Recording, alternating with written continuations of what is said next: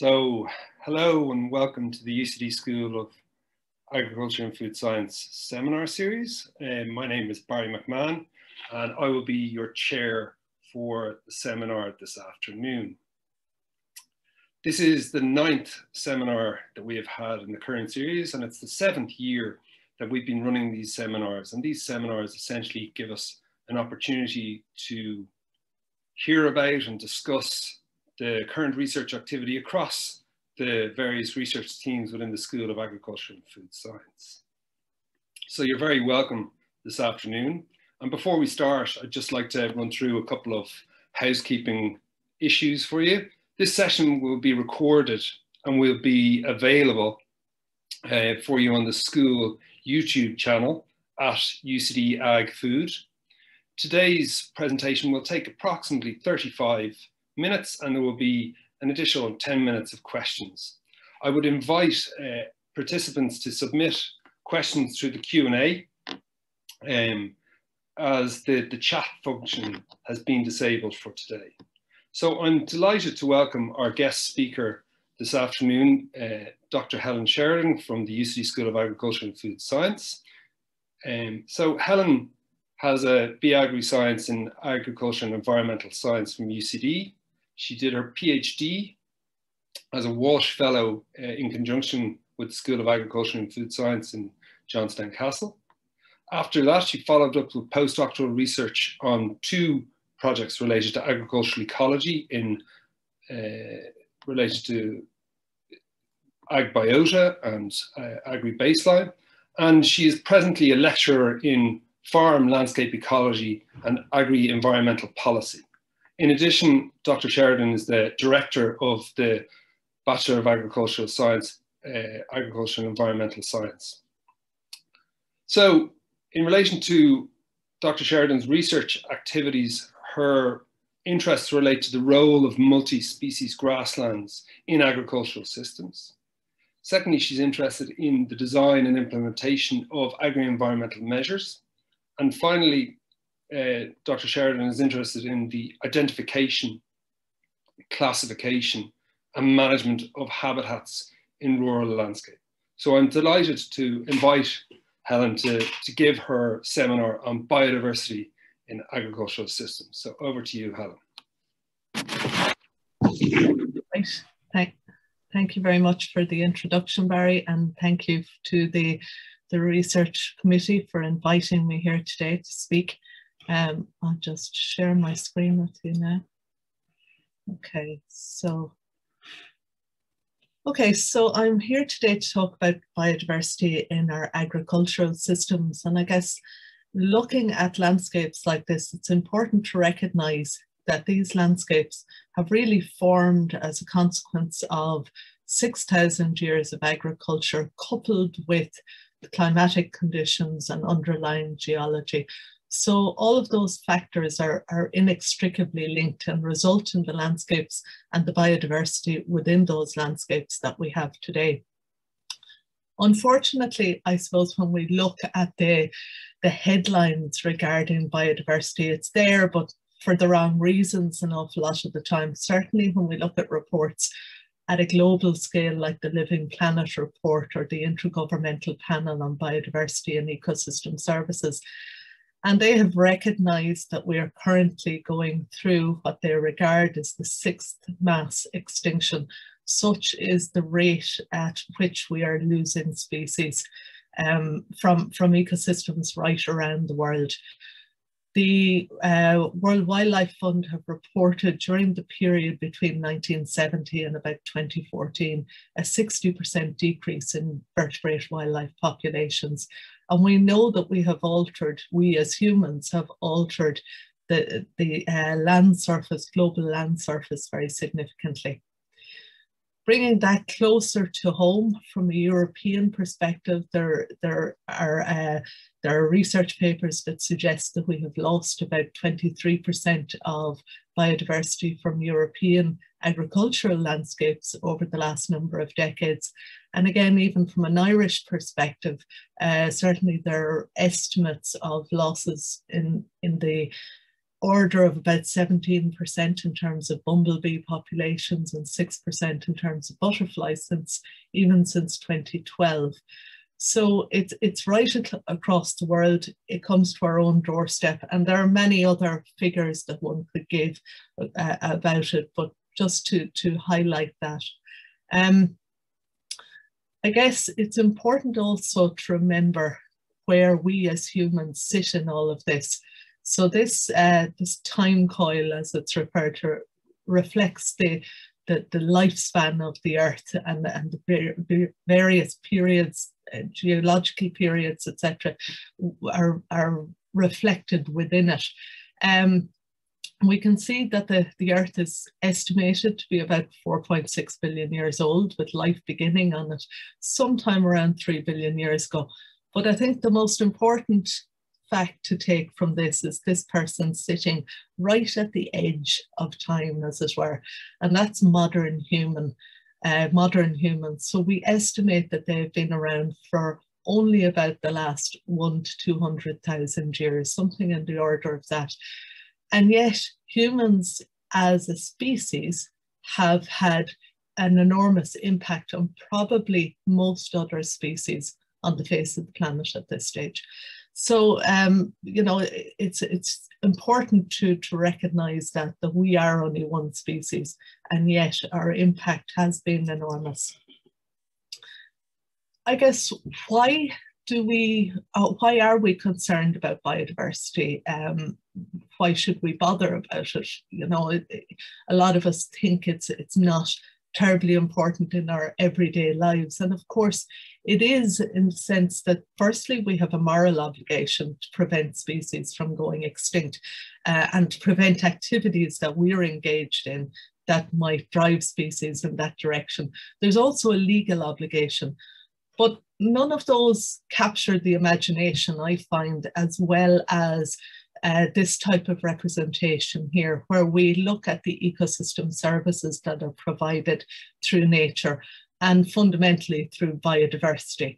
And of course, we're, we're pretty familiar with the provisioning ecosystem services, particularly within an agricultural sense, because those are the services that we have tended to focus on. And food production obviously is a key ecosystem service from agricultural production systems as it should be. However, which uh, those which are maybe less obvious to us in our day-to-day -day lives are the regulating and supporting services that tend to go on in the background. So I'm talking about nutrient cycling, for example, and soil formation, pollination, water regulation. All of these services are fundamental to us as human society, but also fundamental to some uh, sustainable agricultural systems.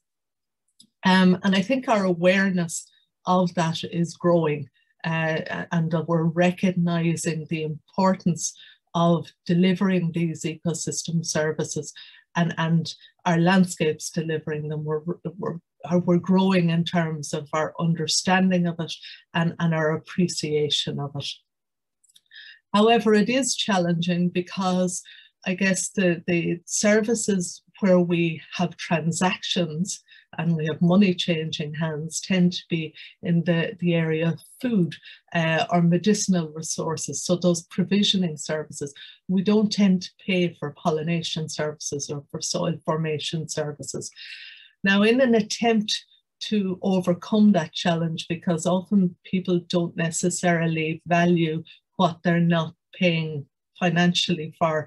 The, the World Wildlife Fund have estimated a value of these ecosystem services of somewhere in the region of $125 trillion per year. And of course, uh, we have what are called keystone species. So keystone species are species that are particularly important um, and without them entire ecosystems can collapse. Now, somebody asked me at one stage, why don't we just hang on to the biodiversity that we need and forget about the rest it? Now, of course, morally that's wrong, but aside from the moral issue, if we look at it from a purely human-centric perspective, you know, we don't always know what those keystone species are before they're gone. So we can't, we know a limited amount about how species interact with each other and particularly how they interact to deliver these ecosystem services to us. Um, so it is in our own best interests as a species to try and preserve and protect as much biodiversity as we possibly can. In terms of what's out there uh, to protect biodiversity in a legal sense, we have the convention, that's uh, the Convention on Biodiversity, which Ireland is a signatory to, along with, I think it's about 180 countries at this stage worldwide. Um, and that has committed to halting the loss of biodiversity. We also at a European scale have the Birds and Habitats Directive and a network of, of Natura nature sites, um, special protection areas and special areas of conservation designated under those directives that aim to, to try to help prevent further loss of, of biodiversity and protect what's currently existing. Then we have the agri-environmental regulation, of course, as well, which was passed in 1992. And as a consequence of that, we have had the introduction of agri-environment schemes since that time period. And then more closely to home, we have the, the Wildlife Act that was our national act in terms of protecting uh, various components of biodiversity here, and that was originally introduced in, in 1976. So we do have that legal framework, I guess, to try and help us protect biodiversity. But I guess what I find is, um, is, is more useful is not necessarily to tell people that you legally must do this, although there is an element of that. But if people understand how important this these species are potentially within our lives, then I think they'll be much more willing and and and have a greater interest in protecting them. And I think that you know it, it's about recognizing the importance of them. Now we're particularly lucky here. We have this type uh, uh, of, I, I'm showing a fairly typical agricultural landscape, an image of a fairly typical agricultural landscape here. And we've retained a lot of diversity within it. Um, even from this image, you can see that we're particularly lucky to have an extensive network of hedgerows right throughout our country, uh, but also er areas of, of scrub and woodland and forestry. And, and while we don't have much native woodland left, at least we do have that network of hedgerows as a, you know, as a kind of a surrogate woodland habitat. However, we wanted to see, and part of my own research revolved around wanting to see where exactly we stood in terms of farm scale habitat levels. Um, and, and Barry mentioned I had undertaken two postdocs and they largely revolved around this work. So in the first one was a, an EPA funded project, uh, AgBiota, where we looked at 50 farms based in the east and southeast of the country and undertook farm scale habitat surveys on those and then subsequently Agri-Baseline, which was the Department of Agriculture funded project, and that was 118 farms, and they were split evenly between Sligo Leitrim, Offaly Laois, and North Cork. So in total, we surveyed over 6,000 hectares of farmland to, to see what kind, firstly, what types of habitats were present, how much of them was present on farms, and what kind of quality or ecological condition they were in. And I suppose by way of explanation of why we're looking at farmland habitats, it's, it's hugely expensive and time consuming to try and look at many components of biodiversity and, and it's very, you know, very high level of skill required for some of the identification work that would be involved.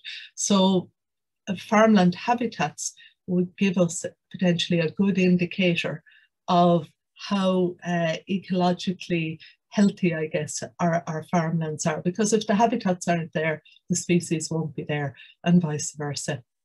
So we undertook these habitat surveys and subsequently then I digitized uh, the, the farm ha habitat types and land use types onto these aerial photos and, and calculate, calculated the area of the individual habitat types. So just to, to give some context to where we are in an Irish sense, and um, and I'm talking about when I talk about semi-natural habitat here, I'm talking about our hedgerows, our field margins, areas of scrub, streams, those kind of areas. And on average, uh, the farms that I included or we walked within these surveys, we found about a 13% uh, le level of semi-natural habitats on, on these farms. That compares pretty well to Caroline Sullivan's work in East Galway, where she found about 15% semi-natural habitat. And then Julie Larkin, who's a PhD student with John Finn and Dara Hulacan and myself, um, found that on more intensively managed farms and those also including tillage farms within that, the, the other uh, data sets look just at grass-based farms. So when we bring tillage farms into it and more intensively managed farms, we're still in around 10% of semi-natural habitat area. And when we compare this with what's known from other countries, we see that Ireland is actually, you know, comparing reasonably well. If we look at the Netherlands we've an area of somewhere between two and, and 5% there is the estimate. France, someplace between two and 12%, depending on the region, and Poland, someplace between one and 4%. So on the face of it, that looks positive and it is positive. We have retained a lot of these habitats within our landscape, a lot of area of it. However, there are issues um, that need to be recognised and certainly around the quality of some of our most common uh, semi-natural habitats such as our field boundaries or our hedgerows. Um, so this graph here is just showing the, the percentage breakdown into different field boundary types of the 253 kilometres that were surveyed across the AgBiota 50 farms. And we see from that that somewhere around 45% of the field boundaries, the hedgerows, would be regarded as stockproof, which a stockproof hedge is similar to the one that I'm showing there in the top right of your screen. Um, but about 50% of the hedges were either regarded as escaped or relict. So escaped is where a hedge is becoming gappy and where it needs a fairly significant in intervention such as coppicing or laying to try and rejuvenate it. And then relict is where the whitethorn, if it's a whitethorn hedge, have, have essentially just become whitethorn trees and it's lost its function as a hedgerow. Now those relict and escaped hedges are still important for biodiversity, but the hedge is dying out at that stage. Um, so we will lose them if we don't intervene. Um, so there's certainly work that needs to be done on our, our field boundaries in terms of improving the quality of them. And also, if we think beyond biodiversity and, and into the whole area of carbon sequestration, and people are getting interested in the potential of our hedgerows to store carbon and sequester carbon, um, there's limited work available on that at the moment. But uh, looking at work undertaken in the UK, there's an estimated storage capacity above ground of somewhere between 32 and 40 tons of carbon per hectare and below ground something similar. And then uh, from the limited work that is available here, the sequestration rate for carbon in terms of our hedgerows will be somewhere between uh, two thirds of a tonne and 3.3 tonnes of CO2 per hectare per year. However, there's a lot of work required in that area to tie those figures down. They are uh, estimates at this stage. And I believe Teagasc are doing some work in that area at the moment.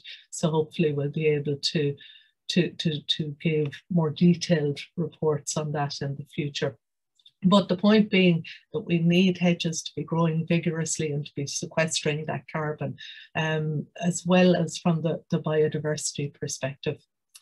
The other area I wanted to mention with regard to habitat quality were field margins. And field margins are this area of herbaceous vegetation adjacent to a field boundary.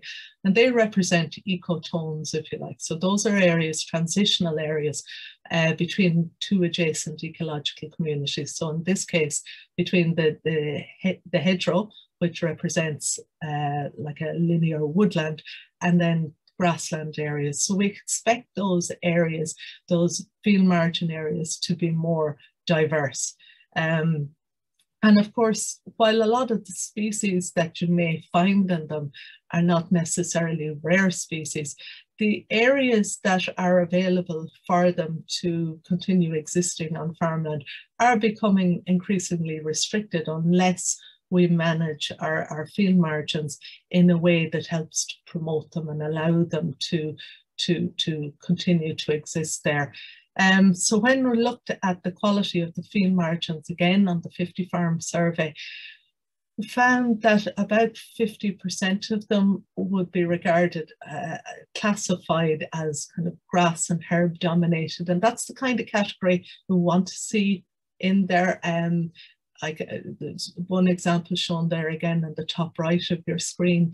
Um, I would like to see more herbs, more flowering plants in it, but at least, you know, if we get the rough grasses in there with some herbs, that's certainly positive. But then the remainder of them, so another 50% or so of them, were made up of what would be regarded as undesirable in this context. So uh, bramble and gorse encroaching onto them, um, nutrient responsive species. So you can see in the, the bottom picture on your screen there that there's uh, margin dominated by nettle. So oftentimes you get nettle or cleaver where you get high levels of nutrient um, nutrients encroaching into the field margin habitat. So hugely important that we try to keep those nutrients out of the margins to allow these species to continue to, to grow there, these ones that we want to see there. So certainly on the, you know, we've retained a lot, but there's certainly more work to be done in terms of addressing quality issues. When we look at that overall, um, the kind of picture we we're getting was that about 73% of our farmland area is under agriculturally productive habitats. And that's what you'd expect, um, you know, that we would have a high level of those. About 11% of land area would be regarded as marginally productive. So, you know, you might be talking about wet grasslands there. They can be semi-natural grasslands, but they are used for agricultural purposes. Uh, and then about 13% that would be semi-natural habitat area that isn't used for agricultural purposes like hedgerows um, and woodland areas, for example, and scrub. So as I say, we compare quite favorably, but when we look at the breakdown of that across the different regions of the country, this is where we, we need to be quite careful, I think, for the future in terms of our planning. There is a significant relationship there in terms of system and also region. So we're getting reduced levels of the marginal and semi-natural habitat types as we move into dairy and beef systems and also as we move from north to south. So we're getting a much higher proportion in Sligo Leitrim, lower proportion in, in, in Cork. And again, that reflects the ability of the land, I suppose, to, to produce high levels of agricultural output in, in Cork. Um, we use that information then to undertake uh, remotely sensed um, classification of, of habitats in the landscape at a much wider scale. And doing that, we classified a total of about 87,000 hectares of land using this approach.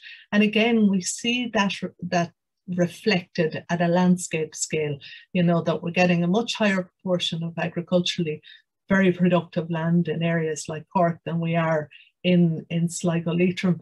And, and again, that reflects natural constraints on land, etc. But I guess what's important to keep in mind here is that we need to retain at least minimum levels of, of, of, areas for biodiversity, even in our most productive landscapes, and plan for that. Um, so, you know, we I think we, we need to uh, manage and, and ensure that we retain those habitat areas going forward and potentially enhance our habitats in certain parts of the country as well. And when we look at this map, which shows the predicted level of high nature value farmland in our landscape, um, you can see that the, the predicted le high level nature value farmland occurs uh, showing the areas where it's predicted to occur are shown in green, whereas the blue predicts areas where you're going to find low levels of this high nature value farmland. And that really reflects, I suppose, what I've been talking about there for the last few minutes. But I think we need to be very conscious of this in terms of planning for land use and addressing environmental concerns, particularly around climate issues. There's been a lot of talk about how we're going to address our, our climate uh, requirements under the, the Paris Agreement, for example. Um, and we need to keep in mind, I think, that we have a climate and a biodiversity crisis, and we can't afford for any policy initiatives or land use change that might be coming down the road to, to um, address one, one issue but potentially exacerbate another. So I guess it's just a, a word of caution that we need to plan for, for any changes and ensure that we're not replacing any particular, particularly valuable habitat types or rare habitat types with those of, of a lower ecological value. So it's getting the balance between the two. From a grassland perspective, and I kind of dealt with the, the landscape there. Uh, now to, to, turn our attention to the in-field uh, aspect of biodiversity. And I guess that picture on the, the top left of your screen there shows uh, the dairy farm in Johnstown when I started my PhD down there. And it's very much the kind of suppose, system that we've been working towards or research been working towards um, high output system um, and, and dominated by perennial ryegrass. And there's very good reasons for this. I mean, ryegrass is highly productive. Um, you know, it has the potential to germinate very well and recover very well following defoliation. So there's very good reasons for, for, for sowing perennial ryegrass and, you know, um, having these high output systems, agricultural output systems. However, I suppose the elephant in the room is that they're going to be highly dependent on nitrogen fertilizer.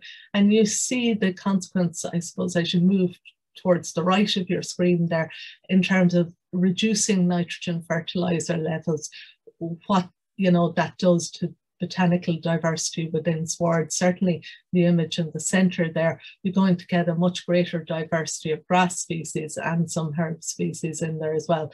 And then of course, uh, a high proportion of our agricultural land would also be kind of wet, rushy land as well. So I suppose these three types in particular that I'm showing in the images here um, are, make up a high proportion of our agricultural grasslands in Ireland currently. And then we have, I suppose, those grasslands that are more important from a biodiversity perspective, but their agricultural output from them will be much reduced, certainly than the, the uh, first two that I talked about. So, you know, your calcareous species rich grasslands on the bottom left there. In the middle, that's an image I took of the Shannon Callows, so wet seasonally flooded grasslands. And then on the right, uh, an acid grassland, which may on the face of it not seem that botanically diverse, but you can have a very high level of, uh, of um, wax cap species uh, and fungal species in, in general, which reflect the biological diversity within the soil in those areas. So if you put nitrogen or any other fertilizer indeed onto those sites, you're going to interfere with that biodiversity. So we need to be very cautious to try and continue to mind and ensure that we have retained what is left of those areas. Uh, and that means not intensifying them, but it also means not abandoning them because abandonment and lack of farming in those areas will be equally detrimental as, as, as intensification will be for biodiversity. And of course, I'm showing you the plant diversity here, but of course that in turn supports a wide range of invertebrates and a range of bird species, etc., etc. So where are we currently? Well, you know, the EU Farm to Fork um, shows that we're we're targeting a reduction of 20% in terms of our fertilizer usage by 2030. Um, so the challenge for us, I guess, on our highly productive land is going to be to balance that productivity with a lowering of inputs into those systems, a lowering of, of particularly our nitrogen fertilizers into them. So one of the areas that I've been working with uh, a number of my colleagues here in UCD and, and elsewhere on over the last number of years has been multi-species grasslands. And these are not to be confused with species-rich grasslands. These are highly productive, uh, modified uh, agricultural grasslands that consist of maybe six to 10, 12 species. Um, but, you know, they're, they're grown for their agricultural productivity primarily. And what we're doing with those, growing them together, um, it, it, it, I suppose the theory behind it is that when you grow species together, they're going to use resources more efficiently, be that above ground or below ground, and also that some species can help facilitate the growth of others. So prime example there would be of legume species, uh, fixing atmospheric nitrogen and making that available to other species. Okay, so our work in this area began with Smartgrass, which was a, a, project funded by the Department of Agriculture. And we started with the establishment of a plot experiment where we're looking at different species, one to nine different species grown uh, from three different functional groups. So that included perennial ryegrass, timothy, cocksfoot, chicory, plantain, yarrow, and then in legumes, red clover, white clover, and bird's foot trefoil. And we grew those species in mixtures of one to nine, so either monoculture or up to nine species grown together at different nitrogen input levels. And we also grew a conventional perennial ryegrass control at receiving 250 kilograms of nitrogen per hectare per year. So over the course of the following years, we monitored dry matter yields from those plots and also the, the um, proportion of the dry matter coming from different species. And this is coming from Connie Grace's work here. But um, so what you're seeing on the right hand side of the screen there is what the plots were sown with and, and these colors summarize the different mixtures that we included. So for example, if you see uh, 60 20 20, that was sown with 60% grass, 20% legume, and 20% herb. Um, so it could have been any combination of the species from those functional groups making up those proportions. What's interesting, if you look at this particular graph, this is the effect of, nitrogen on annual herbage production from the, the plots. Um, and you'll see across the x-axis that nitrogen input is increasing. And then on the y-axis is the, the kilograms of dry matter. And the dotted black line shows the yields from the, uh, the perennial ryegrass monocultures receiving 250 kgn. So what we're seeing is that a number of our mixtures are actually performing really well by comparison to that, even when they're receiving zero nitrogen input. And once they receive about 90 kgn, they're outperforming it. Um, and that's really down to the, the, largely down to the legume component of those swards driving that. Um, looking at it from a seasonal perspective, again, all of these graphs follow a similar train of, uh, with the dotted line showing the, the conventional ryegrass control. And again, you can see in spring, a number of our mixtures were performing well at zero N relative to the, the perennial ryegrass. Um, summer ryegrass comes into its own, but yet we did still have, have uh, mixtures that were, were performing as well as it. And then in the autumn, we also see that it's performing. So that the mixtures are performing. So we're seeing that performance maintained right throughout the growing season and overall. If we look at what happens to our the composition of our dry matter when we change the nitrogen input levels. So just looking at this purple line at the top, this was a mixture that was, sorry, beg pardon, sown with 40% grass, 60% legume. And when we look at the dry matter from that at zero N, we see that 28% of it comes from the grass component and 70% from the legume component. When we increase the nitrogen fertilizer input, we're seeing an increase in the, the grass component of the dry matter, uh, but a decrease in the legume component, but we're not getting any yield increase. Uh, as, a, as a consequence of that increased nitrogen input.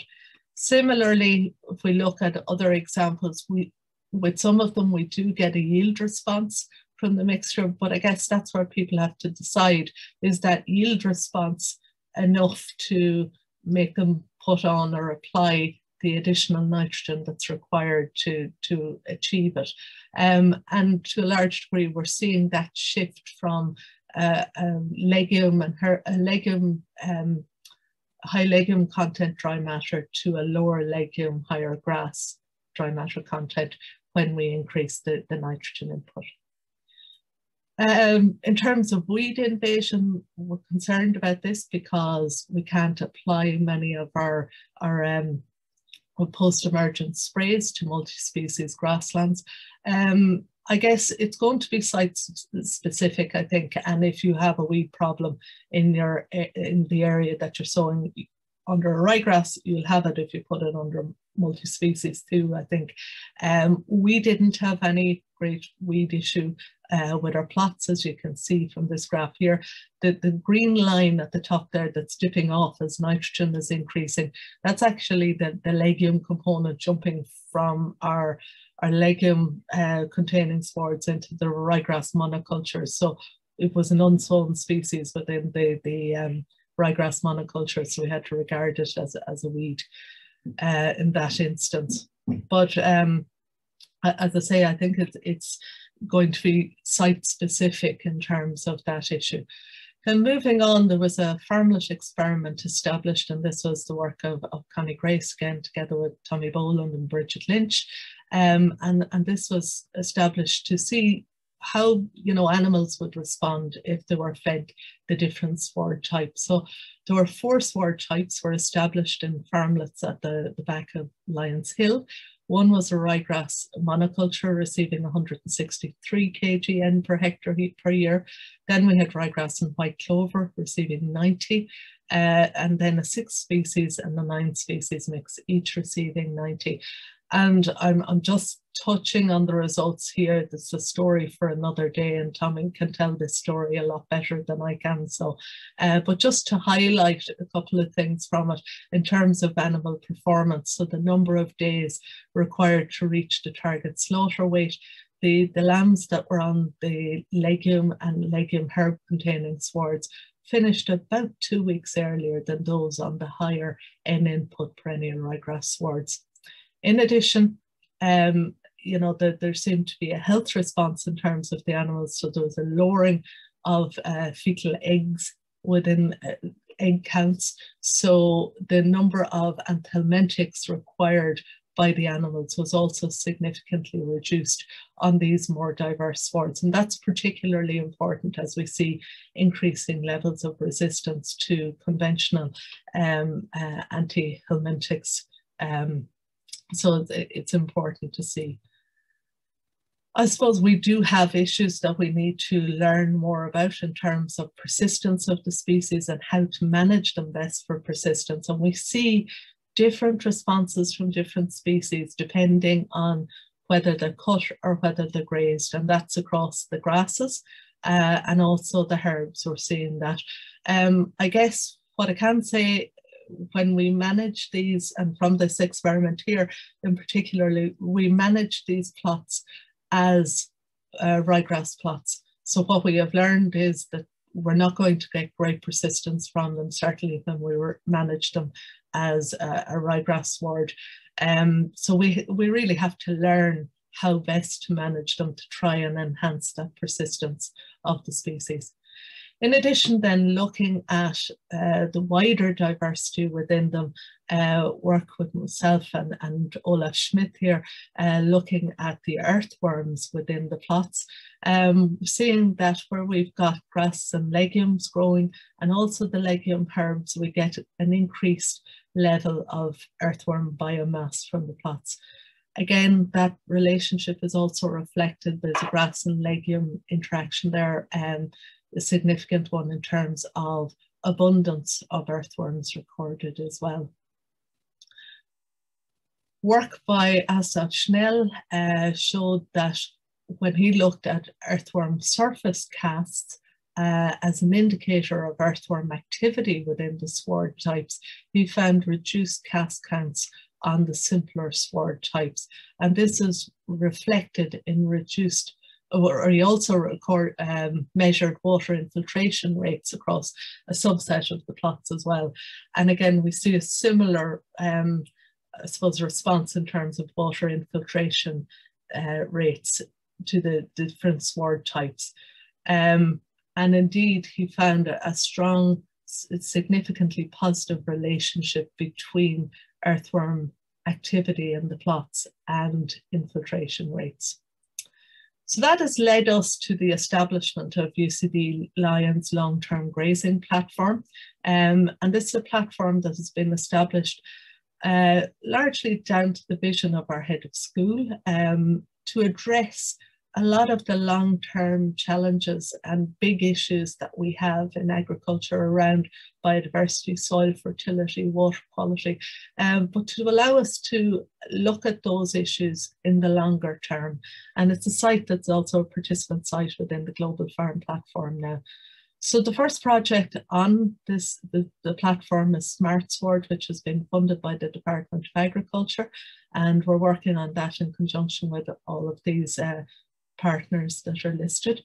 And here we have three farmlets that have been established in 2019. So we have a high input, a, a high end input perennial ryegrass monoculture, ryegrass and white clover, and then one of our best performing multi-species mixes.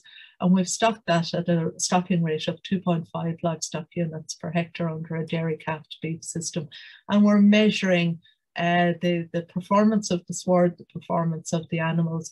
And of course, I'm very hesitant to, to give any definitive answers based on one year's data, but we are seeing similar yields across the treatment types. Sorry, sorry. Um, but those yields are on the ryegrass, sorry, on the perennial ryegrass and white clover and our multi-species swards are being achieved at less than half the nitrogen input that the yields on the perennial ryegrass monocultures are coming from.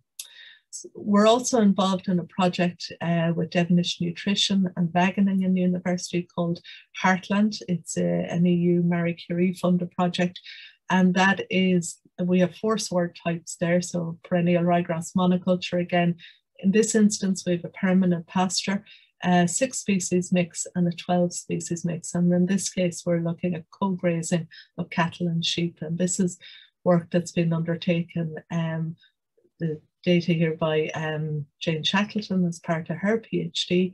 Uh, and again, you can see the different yields for 2020 coming from those different sward types.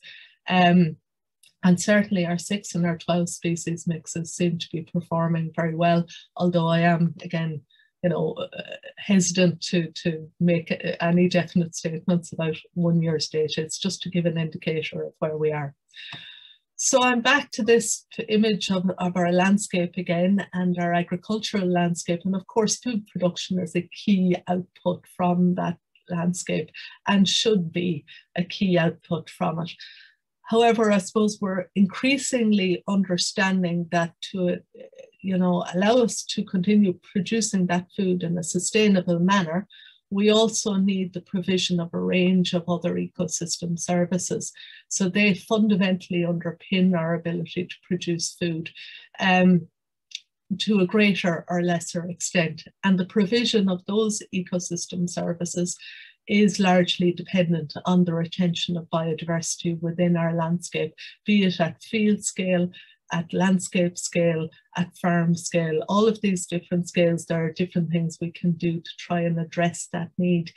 Um, we as a society, I believe, are, are looking more and more for the evidence that we are, are providing these ecosystem services and that we are managing land in a, a manner that will allow that to happen. And I guess we just have to be careful that um, we remember that food production is really the only one of these ecosystem services that farmers get paid for. Um, so where we are calling on them for enhanced production of other ecosystem services, we have to ensure that they can, can make a living from those landscapes and that they're sufficiently rewarded for the provision of those ecosystem services on which society ultimately depends. Okay, that's all from me for now. Um, thank you very much. Thank you very much, Helen, for a really interesting uh, presentation with a nice integration of uh, of scales there, talking from a farm scale habitat approach, looking at some, and then bringing it down to the infield challenges that we face. There's a couple of questions in, but I suppose I'm just going to start start start off with a, a, question that I have in relation to this. So there's been a, basically an obliteration of biodiversity across the globe, including Europe, over the last say 30 years. So you look at the, the Living Planet Index. But during that time period, that's coincided with agri-environmental scheme development, which has been very positive and all the rest. But why hasn't it been as effective, or have you any views on that? Uh, the role that it, that agri-environment schemes have had or haven't had in relation to, to dealing with those challenges? Yeah, so um, I mentioned the introduction of the agri-environment regulation, which has since 1992 required us as an EU member state to have agri-environment schemes in place for our farmers to participate in. It's left up to every member state to determine what their agri-environment scheme will look like.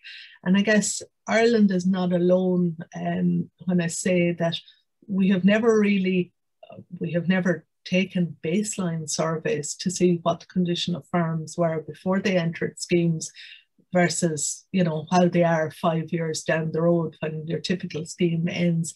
So can we say that agri-environment schemes aren't working? I think the jury is probably largely out because we don't have the evidence to say one way or the other because we don't have the measures there we don't have the baseline against which we can compare However, I suppose there is a feeling that you know biodiversity is reducing, um, and that's that's not uh, being argued at the moment. So, um, you know, on the whole, our agri-environment schemes, you know, they're they're they're there, and farmers are are it's optional for farmers whether they want to participate within them.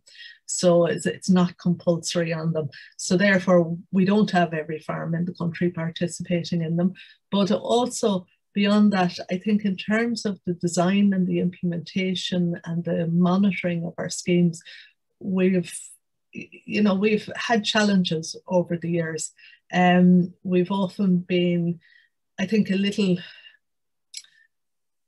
well, not very clear in terms of the objectives of the schemes, but also the objectives of particular measures within the schemes. And I guess if you don't know where you want to get to, it's very hard to, to know how to get there.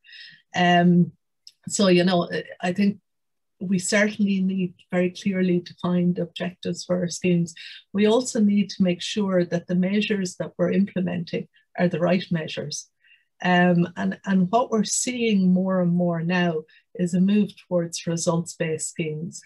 Um, so where, where uh, you know, I suppose administrators are not dictating certainly the, the measures that should be in a scheme, but rather telling the farmers who join the scheme, you will get paid according to the quality of the habitat you have at the uh, the performance, you know, your output in, in, a, in an agri-environment sense, uh, you will get paid accordingly on a scale.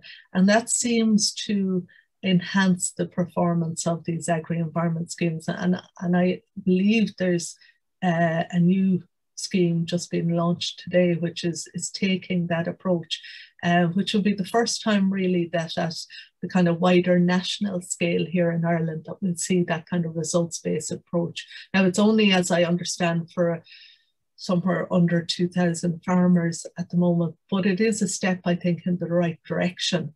Um, you know, that that kind of emphasis on, on results based and, and linking payments to that. Just actually very much linked with that, a question has come in and it's it's uh, from Anthony and he said, what do you think are the main social drivers which influence farm decision making regarding biodiversity promotion in Ireland? which uh, I suppose is really tied with I mean, it's not exclusively tied with agri-environmental schemes, but they're very much related. I think there's probably a couple of things. Um, you know, there, there's certainly a financial element there that, and, and as I say, you know, some people go, well, you know, finances are almost a dirty word, but people have to make a living from the landscape and farm families have to be able to survive in, in rural areas. And I suppose that's going to be an important issue for some people. Um, then on top of that, I guess it's our perception of biodiversity. I mean, we're all here today because we're interested in it. Um, but that interest has really been a slow burn over the last 20 or 30 years. You know, you're, I think people who had more diverse lands um, in the past, it, may have been seen that they weren't being progressive enough as farmers, even, you know, and there was almost uh, a stigma uh, associated, I think, with not having the, the neatest looking and, and, biodiversity and neatness don't necessarily sit well together. So, you know, there's there's a couple of things that are going on there, but I think encouraging people to be proud of the diversity that they have is, is a huge thing and that society as a whole starts to recognize that, but also that we reward farmers appropriately uh, for the provision of that diversity because it's not their diversity, it's society's diversity as a whole. Yeah, no, I take your point, and that goes back to one of your finishing slides there in relation to the the, the multifunctional component of the of our systems. But really, there's only a monetary value put on one of them, or mm. maybe there's only a value put on on one of the aspects. Um, just, I suppose this is probably a little bit of a curveball for you. Someone has asked, how is this valuable information? So, nice compliment there. Um, filtering into the green cert to influence how the current and future farmers would behave in relation to, to landscape management, in relation to field management?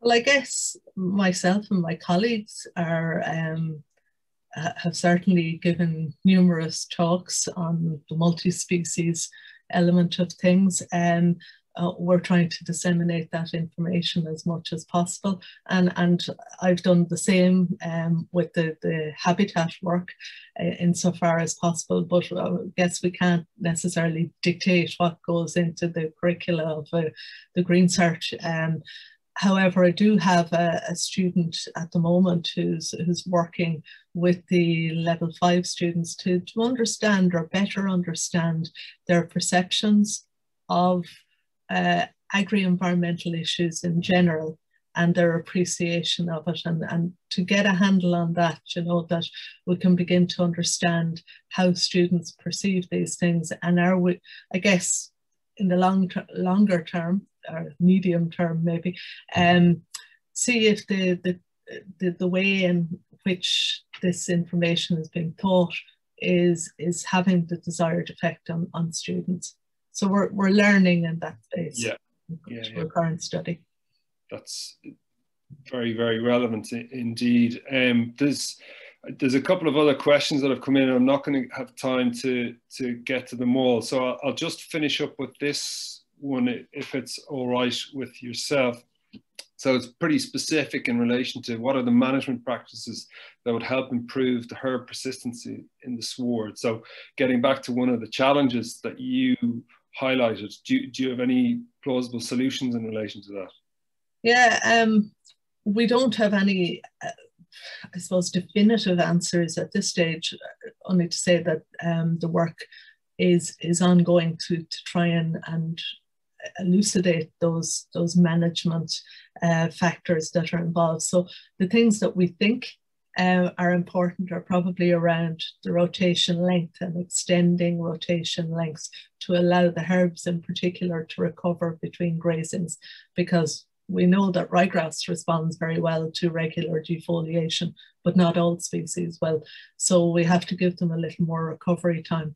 Other things that we're looking at are the, the residual uh, sward type, the post-grazing residual sward type. So traditionally with perennial ryegrass sward, you'd be grazing down to about four centimeters. So we're, we're leaving this, increasing this to about six centimeters to see if that helps with persistence issues as well. So those are two of the, the, the ways in which we're, we're looking at it. Um, we're also looking in another study again, um, the, the work in Dowth, where we're uh, looking at a combination of fertilizer, but also using slurry um, to get a, a, handle on how species respond to those and if they have, uh, if, if slurry would have a, um, an impact on, on persistence of species and indeed yield. So I think it's going to be quite difficult for us to come up with a management prescription that is as well tied down as the ryegrass management prescription um, because you're dealing with different species within a sward, you're dealing with them in combination, and there will be a degree of variability, I think, probably between farms and also between fields. And we'll have to, farmers will have to learn a bit in terms of the, uh, through their own experience of these, so as they they become more familiar with them as well. But we do hope to be able to give, you know, better information in terms of rotation lengths and post-grazing sward heights in, in the near future. That's brilliant. It's, it sounds like there's going to be a hell of a sort of, not a, something very challenging in terms of a knowledge transfer approach in relation to dealing with this, because as you say, it's, it's not just about a species, it's about a composition and how that composition varies within the landscape or within the, the farm that you're dealing with. So yeah. that's very, very interesting. Right. Well, listen, I, I will wrap it up there and I'll thank you very much again for a very interesting seminar and for handling the questions that were, were posed to us. I'd like to thank those who joined us online um, this afternoon and I will wrap up by saying that we have a final seminar series um, in a number of weeks, and it'll be Kieran Meade, and he will be giving his seminar in relation to immunogenetics. So I will wrap up there, and thank you once again for joining us. Thanks, Barry. Thank you.